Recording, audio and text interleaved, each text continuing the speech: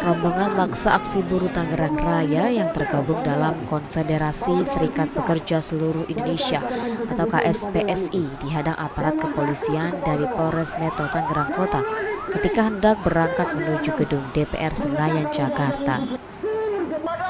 Buruh yang berusaha merangsek menerobos hadangan hanya bisa bergerak sampai jalan perintis kemerdekaan Cikokol.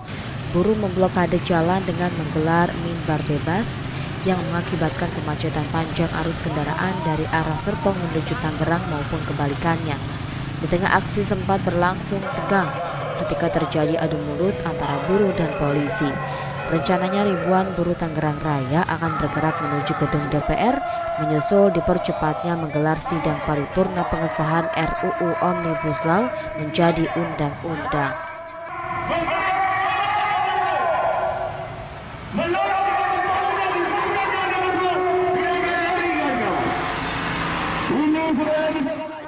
Kita adalah DPR RI karena kita dapat bocoran A1 bahwa hari ini DPR RI akan mempercepat paripurna untuk pengesahan Omnibus Law. Maka kemarin kita bersepakat dengan seluruh serikat pekerja serikat buruh yang ada di Banten. Hari ini kita datangi DPR RI untuk meminta pembatalan RUU Omnibus Law tersebut. Namun tadi kita berkoordinasi dengan seluruh pimpinan, ternyata di semua titik kumpul di semua titik kumpul KSPSI, FNPMI, KASPI dan seluruh titik kumpul itu diblokir oleh pihak kepolisian supaya kita tidak berangkat. Kita tetap akan memaksakan dan akan meminta supaya pemblokiran itu dibuka. Karena apa? Ini adalah untuk kepentingan pekerja, untuk kepentingan buruh hari ini dan akan datang. Karena kalau sampai itu diketok, habis riwayat kita semua. Habis masa depan anak dan cucu kita yang akan datang. Itu. Kita akan tetap labrak, kita akan tetap terabas.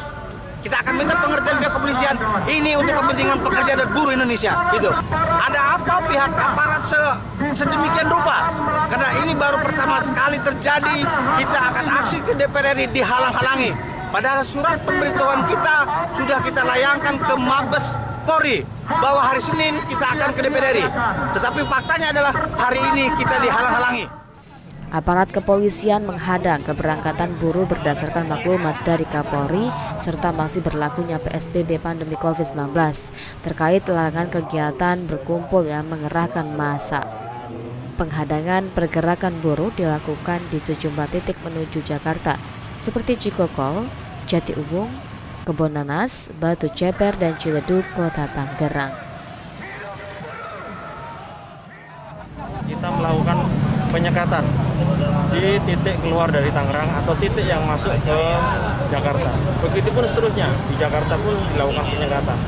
Hal ini karena aksi hari ini, eh, di samping kita masih uh, dalam masa pandemi, tentu saja sudah ada maklumat, sudah ada uh, perwali dan sebagainya, kegiatan berkumpul, kegiatan yang mengerahkan massa oleh pimpinan dilarang sehingga hari ini kita berusaha menggalang persuasif untuk membuarkan.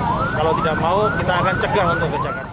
Para buruh masih bertahan di Jalan Perintis Kemerdekaan dengan menggelar mimbar bebas.